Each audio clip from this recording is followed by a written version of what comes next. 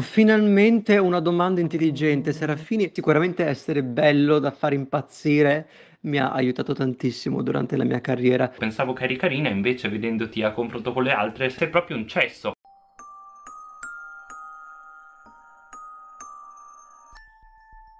Ciao ragazzi e benvenuti su questo nuovo video, un nuovo video diciamo di cultura coreana Oddio era un po' che non facevo video sulla Corea e finalmente un video sulla cultura coreana Allora oggi volevo parlare di bellezza la Corea è un paese che ha degli altissimi standard di bellezza. La bellezza è considerata comunque una virtù che veramente vi potrà eh, portare ad avere un grande successo nella vita. Inoltre dal momento che essere belli in Corea ti dà così tanti vantaggi Ovviamente ciò porta praticamente amici e parenti, soprattutto parenti, a commentare sul tuo aspetto fisico. Per esempio non lo so, se ingrassi te lo faranno notare Se tipo c'è una parte del tuo corpo che dovresti migliorare te lo dicono. E tra l'altro l'altro ci scherzano anche sopra perché lo vedono veramente come un modo per spronarti a migliorare. Vi dico già che mi sono basato molto su un video che ha fatto una youtuber eh, che tra l'altro conosco ormai che è Graze TV che vi lascio il suo link in descrizione. Inoltre vorrei anche ringraziare Persi in Corea che nell'ultimo video mi hanno menzionato ho apprezzato molto grazie Anna. E ragazzi se volete andarvi a vedere anche il canale di Persi in Corea vi lascio il loro eh, canale in descrizione. Quali sono gli standard di bellezza più eh, importanti per i coreani. Allora, il primo tra tutti è avere una V-shape, cioè avere un volto comunque eh, molto, diciamo, triangolare è, diciamo, estremamente importante per i coreani perché voi avete una faccia comunque più affusolata, vi fa eh, sembrare il volto più piccolo. E avere il volto più piccolo per i coreani è veramente una grande botta di culo. Cioè se avrete il, volto più piccolo uh, anche in tv sembrerete più belli. Infatti ci sono un sacco di voci che girano del, sul fatto che comunque per essere una celebrity diciamo in Corea devi avere la testa piccola. La forma del viso la puoi cambiare con la chirurgia. C'è un intervento chirurgico estremamente intensivo che può farti cambiare la forma della faccia. Tra l'altro deve essere un'operazione estremamente rischiosa però molte coreane e coreani decidono di sottoporsi a questo intervento perché veramente ragazzi questa parte del viso può cambiare il vostro intero aspetto fisico se avete una testa più piccola sembrerete sicuramente più proporzionati questa è una cosa che succede anche in Giappone perché non sapete quante volte mi hanno fatto i complimenti per avere una testa piccola che all'inizio quando mi dicevano hai una testa piccola ero lì ma cosa vuol dire? in realtà è un complimento per gli asiatici vuol dire che sei più proporzionato e guardate qua vi posso far vedere alcune immagini di programmi televisivi in cui vanno lì con un... come si chiama? Per misurare la, la, grandezza della loro testa. La vado a misurare pure io. Io so che la mia circonferenza di testa è 58 mi sembra. Vabbè.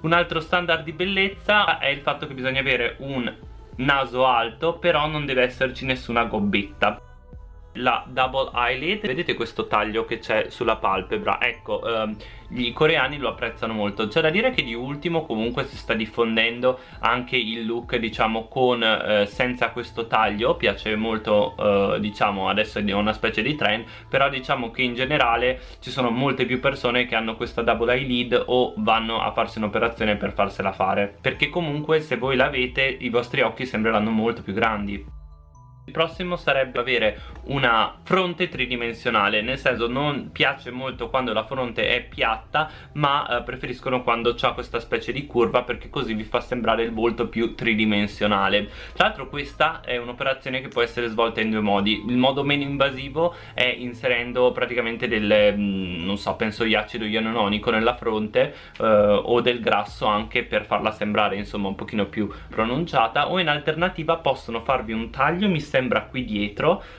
aprirvi praticamente la testa così, mettere la protesi, richiudere tutto e ricucire. Tra l'altro questa è un'operazione che si è fatta questa ragazza giapponese per sembrare una bambola francese. Ok. La prossima è non avere gli zigomi troppo alti. Lo so che eh, in realtà questo è un po' in conflitto con eh, diciamo il make up delle Kardashian o comunque la nostra cultura Perché a noi piacciono alla fine avere gli zigomi alti. Molte si vanno a mettere comunque delle protesi o dell'acido ianuronico per farli sembrare un pochino più in su o più pronunciati. Anche perché vi farà sembrare se siete gli uomini la faccia più mascolina e se siete delle donne comunque un volto più pungente diciamo. Um, tuttavia eh, per gli asiatici questo non è considerato bello innanzitutto perché vi farà sembrare più maturi. E siccome praticamente la Corea è tutto eh, concentrato sul cercare di sembrare il più giovani possibile avere del, praticamente degli zigomi alti e pronunciati diciamo che vi farà sembrare più maturi per esempio c'era questa Grace che diceva che appunto lei ha degli zigomi molto pronunciati e a 16 anni stava camminando per la Corea un tipo l'ha fermata e le ha chiesto di uscire eh, pensando che avesse 22 anni e ha detto che molto probabilmente era dovuto a questi zigomi così pronunciati. Non lo so, solo a me piacciono gli zigomi pronunciati degli asiatici Cioè, guardate che gnocco. Comunque ci sono un sacco di operazioni per smussarseli e praticamente andare a limarli per farli sembrare meno pronunciati allora, il prossimo è chiamato Sumo, praticamente vi dice che se siete delle ragazze una linea che va da qui alle spalle è piuttosto diciamo delicata perché se avete delle spalle più pronunciate farà sembrare il vostro fisico come meno armonico e meno attraente per i coreani.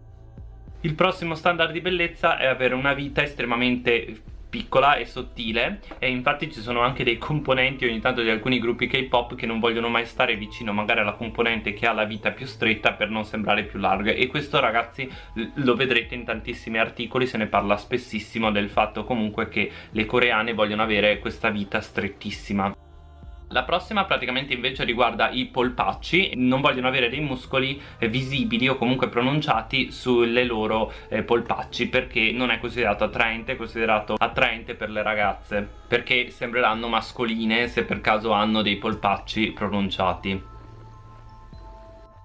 il prossimo, eh, sempre riguardo le ragazze, è pesare meno di 50 kg Questa è una cosa magari non così popolare in questi ultimi anni Però in passato eh, era proprio uno standard Cioè anche se eri alta preferivano se le ragazze pesavano meno di 50 kg E questo anche perché comunque in Corea è molto comune che vi venga chiesto comunque l'età, l'altezza, il peso Cosa che magari non si fa così spesso in occidente ma in Corea sempre. E se pesi meno di 50 kg, wow! Il fatto di avere comunque la pelle molto chiara. Questo ci ho fatto un video dedicato quindi se volete vedere comunque un video sull'ossessione dei coreani o comunque in generale degli asiatici per la pelle chiara potete andarvi a vedere un video. Una cosa interessante però che ho notato parlando di standard di bellezza comunque in Corea è che quasi tutti riguardano eh, l'aspetto del vostro volto e non così tanto diciamo il fisico. Sì anche il fisico però principalmente ci si concentra sul volto. Avere un volto comunque attraente in Corea è veramente importante sapete in Italia e comunque soprattutto anche in America avere comunque un seno pronunciato e un sedere anche lì abbastanza pronunciato soprattutto in America è comunque eh, considerato un simbolo di bellezza e se ne parla tanto mentre in Asia in generale ehm, prende molto meno importanza l'aspetto comunque del vostro eh, seno, del vostro sedere cioè anzi molte ragazze preferiscono avere ehm, queste due diciamo parti del corpo non particolarmente pronunciate per sembrare più armoniche e proporzionate. Quindi come potete vedere eh, praticamente gli standard di bellezza sono diversi da cultura a cultura e cambiano veramente tanto da posto a posto. Inoltre poi volevo condividervi infine la storia di questa ragazza comunque eh, Grace che lei praticamente è andata in Corea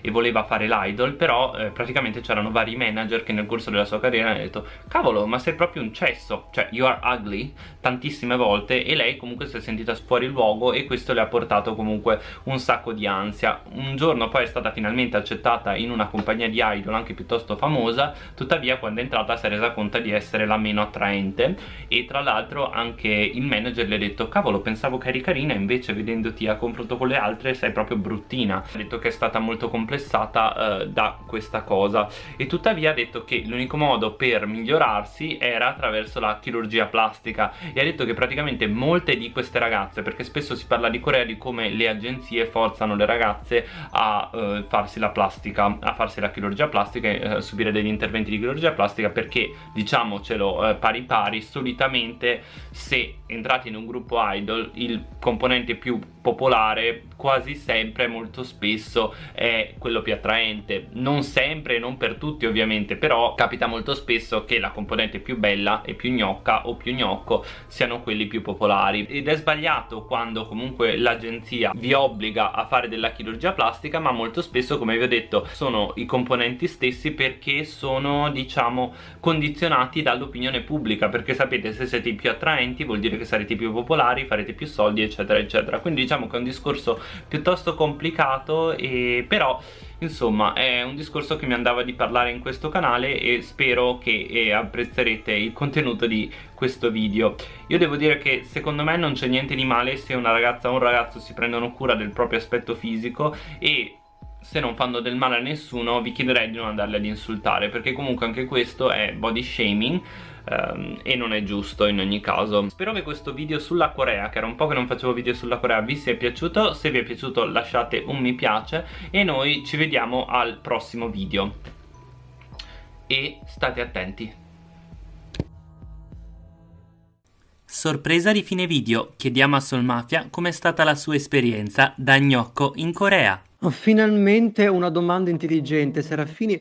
Una domanda che tra l'altro non mi ha mai fatto nessuno, non capisco perché. Sicuramente essere bello da far impazzire mi ha aiutato tantissimo durante la mia carriera, soprattutto in, in un paese in cui comunque gli standard di bellezza contano così tanto e il mio uh, figacciume irraggiungibile, diciamo che eh, mi ha sicuramente aiutato a far partire questa mia carriera incredibile e anche far vedere il mio talento proprio indefinibile a parole. Um, e però diciamo che, aspetta, aspetta, non capisco se devo essere serio in questa risposta o no, provo a essere serio. Diciamo che eh, la Corea è un paese in cui gli standard di bellezza contano tanto, il fatto che io rientrassi un po' in questi standard, nel senso che uh, comunque ho la faccia molto piccola, un, uno degli standard più importanti è la grandezza della faccia, penso sia così anche in Giappone. Eh, la faccia così piccola gli occhi grandi, insomma, le, le, le mie sopracciglia, ecco, sono, sono, stato complimentato tanto per le mie sopracciglia, per dirti. Eh, mi hanno aiutato a incominciare una carriera, ma perché comunque io lavoravo nel mondo dell'intrattenimento, quindi insomma, chiaramente era una cosa importante. Eh, però allo stesso tempo a volte diciamo che ti senti anche boh, tipo un, un, un, pezzo di arredamento. Sono stato scelto il più del, delle volte diciamo anche il 90% de- delle volte, il 95% delle volte per i lavori che ho fatto solo per l'aspetto fisico. Quindi per una persona come me che magari ha studiato teatro, eh, canto, danza, insomma, sono un ballerino, lo, lo sai, insomma. Cioè, da un punto di vista artistico non è che mi sono sentito molto, come si dice, um, non penetrato, come si dice, un punto di vista soddisfatto, ecco, perché comunque uh, ho studiato per lavorare nel mondo dell'intrattenimento, ma finivo sempre a fare lo straniero, bambolotto, belloccio, quando ero, quando ero ancora giovane e belloccio, facevo il giovane belloccio e fini, finiva lì, insomma. Eh, quindi diciamo che ha i suoi pro e i suoi contro, eh, a, a vivere in un paese con degli standard di bellezza così definiti e che appunto eh, cura l'aspetto fisico così tanto e tiene in considerazione così tanto l'aspetto fisico. E questo è anche il motivo, ecco, diciamo la cosa più importante, questo è anche il motivo per cui poi ho incominciato il canale YouTube, perché non, non mi sentivo realizzato a, a livello artistico, non sentivo che potevo creare, potevo far vedere quello che, che sapevo fare e quindi ho creato un po' il mio canale, ecco. Troppo lunga questa risposta, mi sa che dovrei tagliarla.